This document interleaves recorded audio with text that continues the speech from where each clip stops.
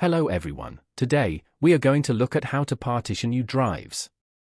I already have two partitions of equal size. On the search bar, type the word partitions. Select the Create and Format Hard Disk Partitions options. This tool is included in all versions of Windows that lets you partition drives, among a number of other things. I like partitioning my drives in equal sizes, which makes it easy to track the usage. Right-click on the desired drive and select Shrink Volume.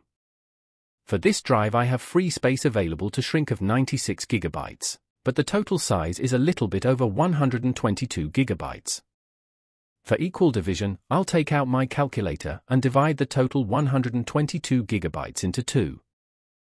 For your case, enter a number based on the size of your hard drive and also keep in mind the amount of free space available, so you cannot end up formatting your useful information. I'll have to divide my drive to something like 60 gigabytes, input the number once you are satisfied with its size, then click Shrink.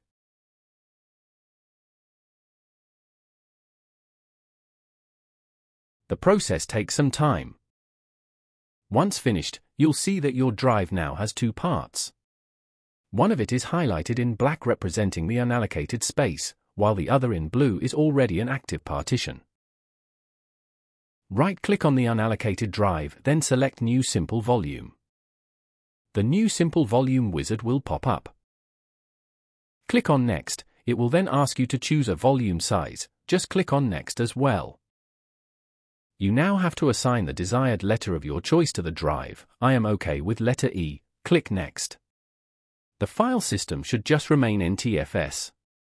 You can name your drive in the volume label section. I'll label it as Documents.